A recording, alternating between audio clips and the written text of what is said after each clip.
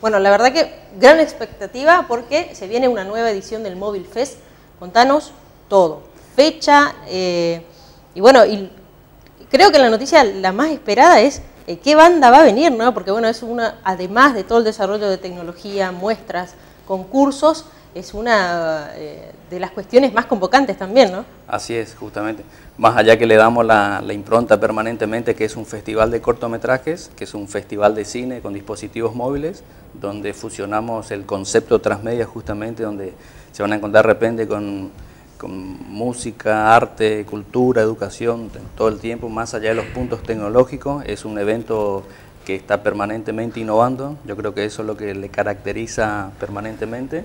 Bueno, ya es la tercera edición, la marca humildemente se fue posicionando y siempre la banda, el cierre, yo creo que, es un adictivo importante porque justamente apuntando al público joven y a las familias misioneras. Eso, ¿no? Empezó con, quizá por ahí, bueno, la tecnología, eh, los gamers, youtubers y, seguidores, los chicos están tan empapados hoy en, esto, eh, son los que primero pegaron con, el Mobile Fest y hoy toda la familia se involucra, ¿no? Sí, la verdad que, es un evento muy particular que sin querer se transformó en, único en el país con esa característica, que sea un festival de cortometrajes con, dispositivos móviles. Y bueno, la verdad que sí, eh, un público muy variado y son eh, franjas horarias muy especiales, donde durante la apertura es a, a las 14 horas y vas a ver de repente el abuelo con el nieto compartiendo, interactuando con la tecnología.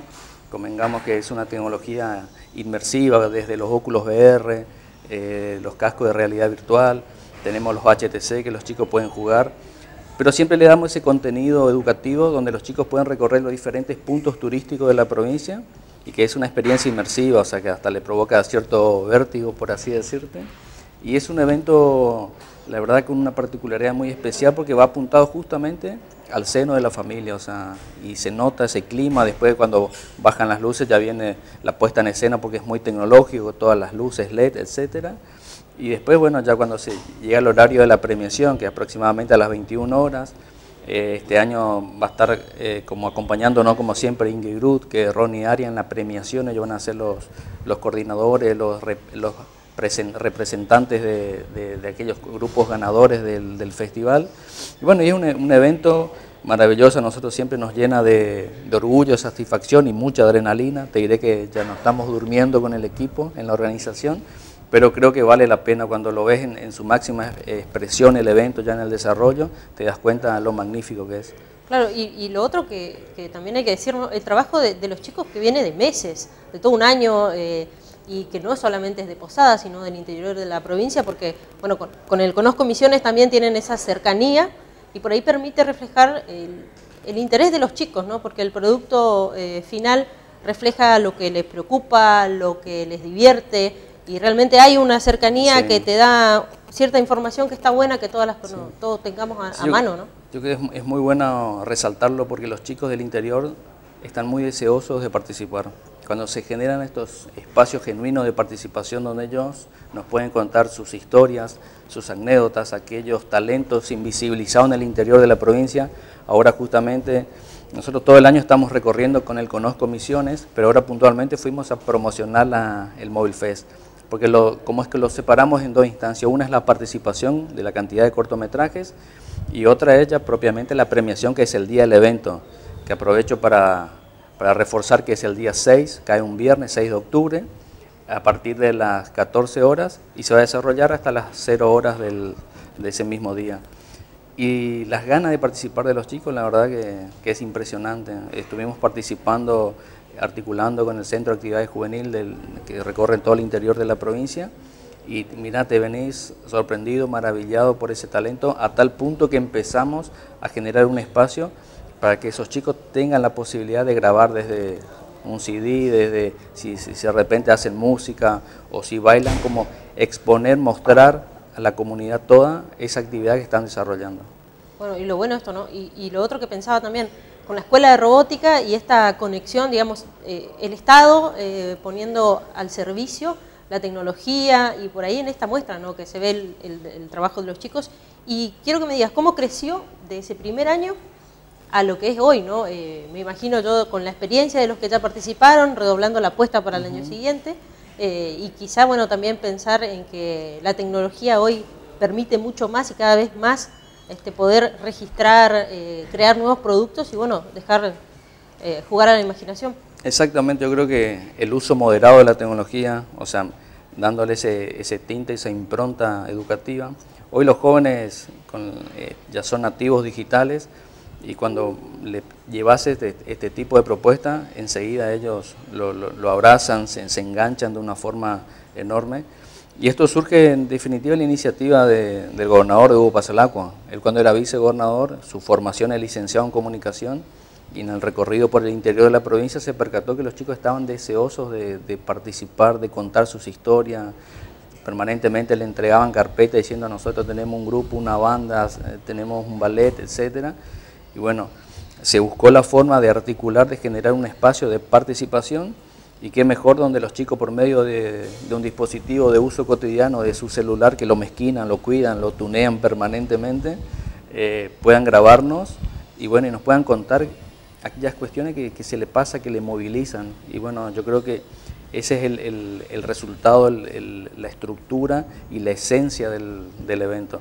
Después sí, se van generando diferentes puntos tecnológicos, se va fusionando el arte, la música, la cultura, pero la razón de ser es ese festival donde los chicos nos cuenten justamente aquellas cuestiones que le están pasando a nuestros jóvenes misioneros. Y Misiones permanentemente es vanguardia a nivel país en innovación. Yo creo que esa impronta desde el, presidente de la Cámara, el ingeniero Carlos Rovira, de interpretar eso con la implementación de la escuela robótica, eh, yo creo que es muy importante y bueno, hay que destacarlo permanentemente. Y sobre todo esto, ¿no? El espacio de participación. Exactamente. y aparte es, un espacio donde va la familia, o sea, tampoco está, segmentado, utilizando un término hoy muy actual. Y bueno, o sea, atraviesa todos los géneros, todas las familias se van a encontrar con artistas misioneros, más de seis bandas misioneras van a estar presentes va a venir Babasónico como para hacer el cierre. Ahí está, la, él, por fin. Vamos, Babasónico, o sea, bueno, toda la, generación. Bueno, bueno, exactamente. Buscamos por ahí justamente lo que decís, es que de repente el padre con los hijos o los abuelos puedan compartir una banda que tiene una amplitud de, seguidores. Ahora estuvieron por México haciendo una gira muy importante y casualmente el 6 de octubre aquí hacen el cierre ahí se van a tomar un, periodo de descanso y después van a empezar ya a trabajar en su próximo, su próximo disco. Así que bueno, es eh, excelente la noticia. Pero hay una más, como si esto fuera poco, vamos, hoy, hoy es viernes, eh, arranca la estudiantina, tenemos, si el tiempo lo permite, ¿no? Pero tenemos la buena noticia que tiene que ver con el premio, ¿no? Sí, la verdad que, es un premio, yo creo que fabuloso, eh, justamente la, decisión del gobernador de, de permitir que los chicos ganadores del primer lugar. Los años anteriores, te cuento así, eh, por ejemplo, Nicolás Mesa, que fue el, ganador de, del primer cortometraje del primer festival Transmedia, hoy está trabajando con nosotros en el Conozco. Los chicos, uno de los chicos que ganó el año pasado, por una cuestión de herencia familiar, se iba, iba a estudiar medicina, o sea, el padre no está muy contento, pero bueno, el chico al participar ya era una cuestión natural de tradición familiar y hoy está estudiando en Buenos Aires dirección de, cine. O sea que a la vez es un evento que, marca mucho en los jóvenes. O sea, creo que es el valor que nosotros justamente ponemos en la mesa, evaluamos y destacamos.